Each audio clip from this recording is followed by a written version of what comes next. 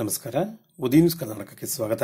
ಪದವಿ ಇಂಜಿನಿಯರಿಂಗ್ ಓದುತ್ತಿರುವ ಸುಮಾರು ಒಂದು ಲಕ್ಷದ ಐವತ್ತೈದು ಸಾವಿರ ವಿದ್ಯಾರ್ಥಿಗಳಿಗೆ ಸರ್ಕಾರ ಉಚಿತವಾಗಿ ಟ್ಯಾಬ್ ನೀಡಲು ಮುಂದಾಗಿದೆ.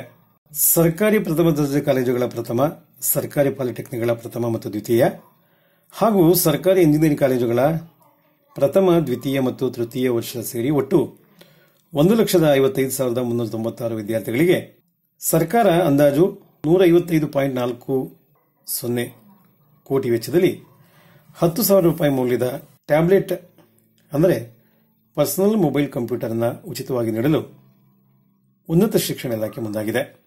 ಪರಿಶಿಷ್ಟ ಜಾತಿ ಮತ್ತು ಪರಿಶಿಷ್ಟ ಪಂಗಡದ ನಲವತ್ನಾಲ್ಕು ಸಾವಿರದ ಮುನ್ನೂರ ಇಪ್ಪತ್ತಾರು ವಿದ್ಯಾರ್ಥಿಗಳಿದ್ದಾರೆ.